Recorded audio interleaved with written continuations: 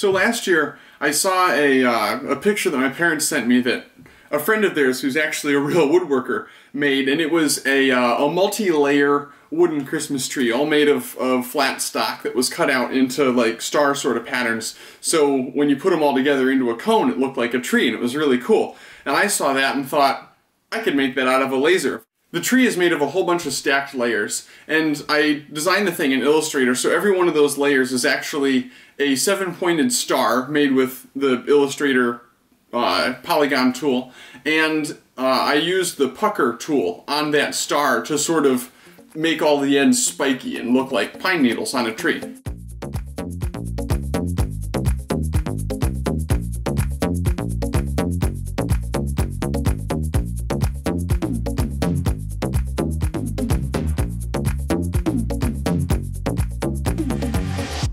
So the first step with anything that's laser cut like this, aside from actually cutting it out on the laser, uh, is to crack all of the pieces out of their cut sheets. Now as you can see, a lot of these need an awful lot of touch-up work. They've got like edges hanging off of them and all sorts of nastiness. So I have a set of files right here and it's going to take a while, but they all need to be cleaned up.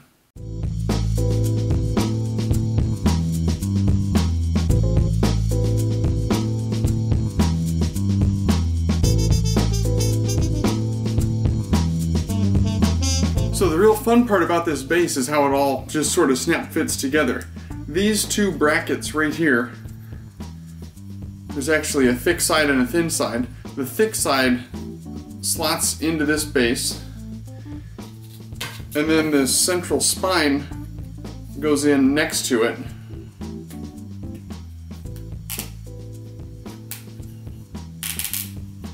It's a pretty tight fit, but it should be, holds it together and then the other L bracket goes on the other side.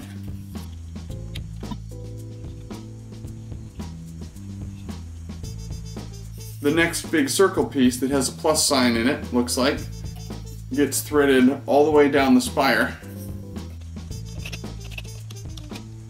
and actually pushes over those L brackets to stabilize the base.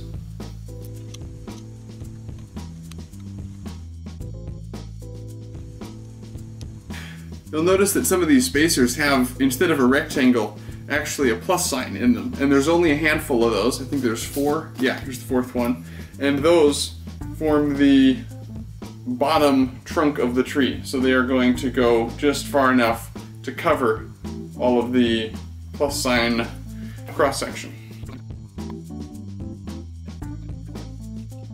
The bottom still has this cross on it, so one of the very last steps is to take the plain disc and just glue it over the bottom, and that will lock all of this in place.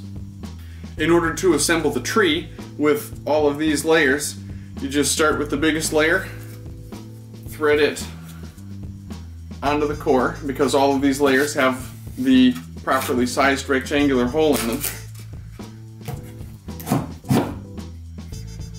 Like that. And then you put three of these spacers in between each layer.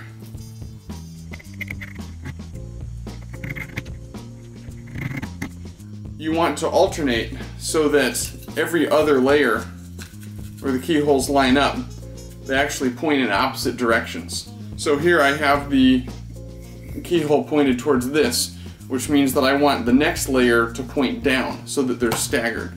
So find the top of this, point it the right way,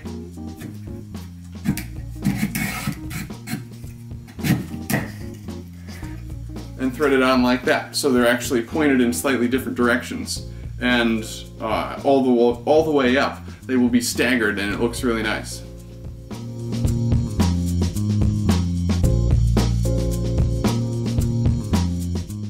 The only thing left to do is to glue the bottom onto the bottom, which just sort of anchors together all of the pressure fit stuff.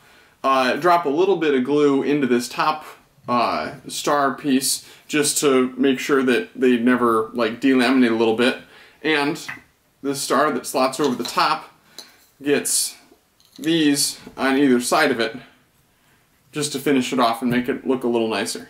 You could probably get away with cyanoacrylate or something like that, but I'm going to actually be using some wood glue just to make it a little bit nicer.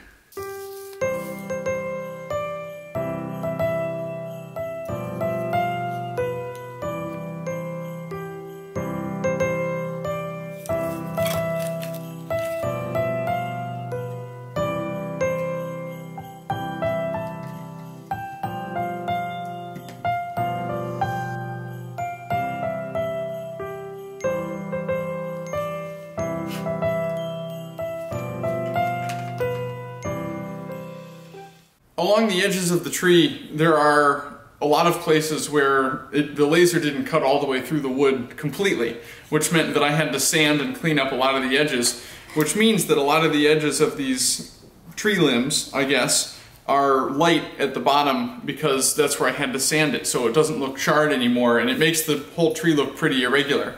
So this is just like scratch cover polish and uh, I'm going to use that to basically just artificially darken all of these spots so the whole, the edges of all of the pieces of wood look the same before it gets polyurethaned.